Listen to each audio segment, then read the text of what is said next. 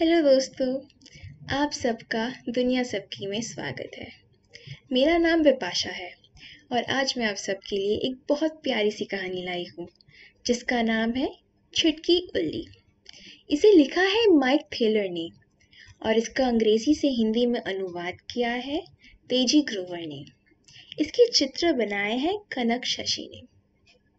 अब, कहानी के नाम से ही तो पता चल जाता है कि इसमें एक उल्लू ज़रूर है। आपने कभी उल्लू देखा है? शायद किसी रात खिड़की के बाहर एक पेड़ पे तो बड़ी बड़ी पीली आँखें देखी हो। क्या पता? शायद पंख फड़फड़ाने की आवाज़ भी आई हो। वो एक उल्लू हो सकता है। चलिए देखते हैं आज छुटकी की ज़िंदगी में क्या हो रहा है। ये छोटा सा जो उल्लू है वो ज़रूर छुटकी होगी।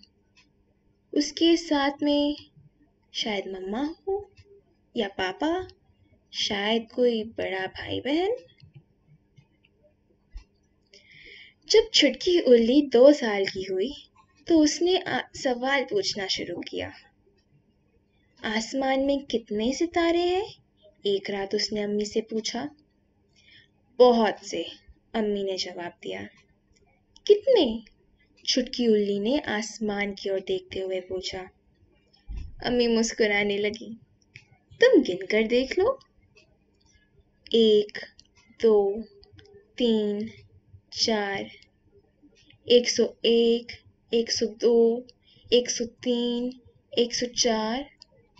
जब सूरज निकला, छुटकी तब भी गिन रही थी।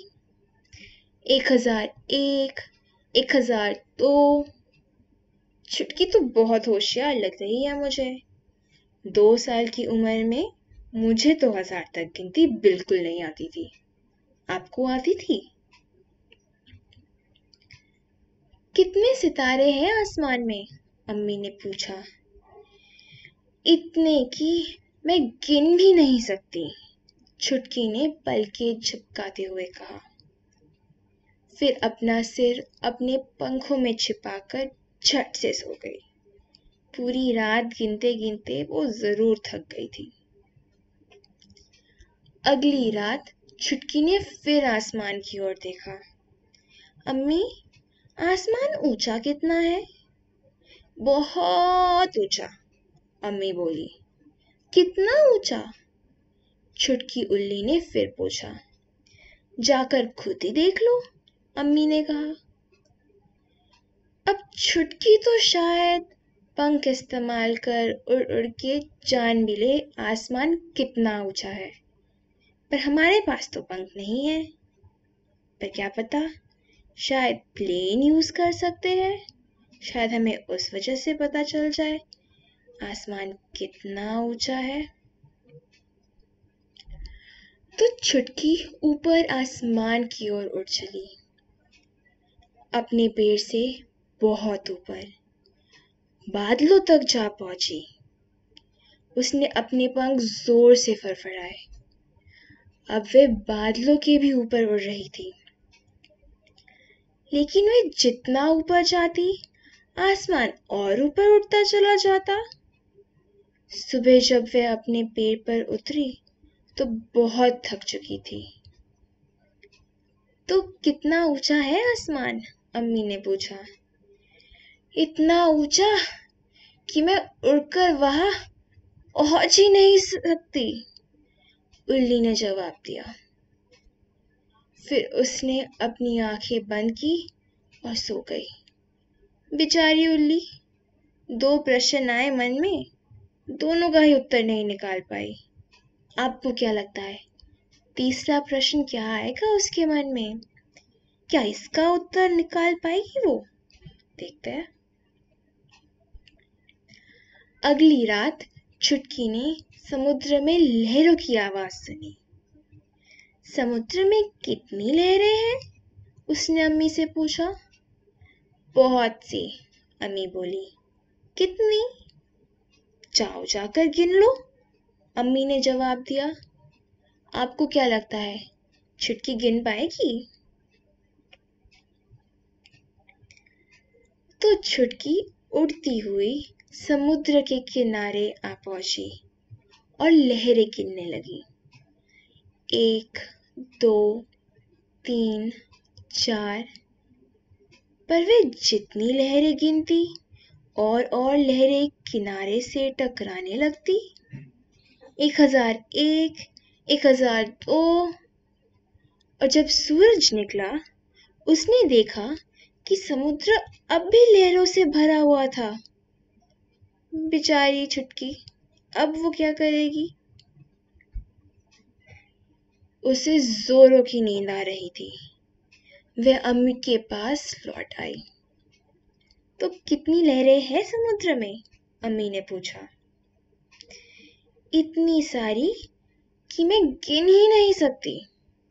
छुटकी आँखें मीचते हुए बोली। अगली रात छुटकी ने अम्मी से पूछा, समुद्र कितना गहरा है? बहुत गहरा। कितना गहरा? अम्मी आसमान की ओर देखते हुए बोली, लगभग उतना ही गहरा जितना ऊँचा आसमान है। मतलब इतना गहरा कि छुटकी ये भी नहीं गिन सकती।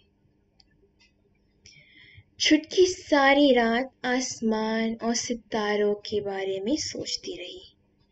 समुद्र और लहरों के बारे में सोचती रही। जो भी उसने अम्मी से सीखा था, उसके बारे में सोचती रही। सूरज निकलते ही छुटकी अम्मी के ओर मुड़ी। मैं तुमसे प्यार करती हूँ, अम्मी। कितना? अम्मी ने पूछा। बहुत। छुटकी ने एक पल सोचा और अम्मी के गले लगकर बोली, आसमान जितना ऊँचा है और समुद्र जितना गहरा, मैं तुमसे उतना प्यार करती हूँ। अम्मी ने अपने पंखों से छुटकी को ढाप लिया। तुम कितनी बार गले लगाओगी मुझे? छुटकी ने पूछा। बहुत बार। अम्मी ने उसे फिर गले से लगा लिया। कितनी बार? जितनी लहरें हैं समुद्र में, जितने तारे हैं आसमान में। और हमारी कहानी खत्म हो गई। आपको भी क्या कभी छुटकी की तरह दुनिया देख के सवाल पूछने का मन करता है? मुझे तो ये कहानी बहुत अच्छी लगती है। जब भी मैं इसे पढ़ती हूँ मेरे दिमाग में सवाल उठ जाते हैं। आसमान कितना ऊँचा है? सूरज हमसे कितना दूर है? घर के सामने जो पेड़ है, उसमें पत्ते कितने हैं?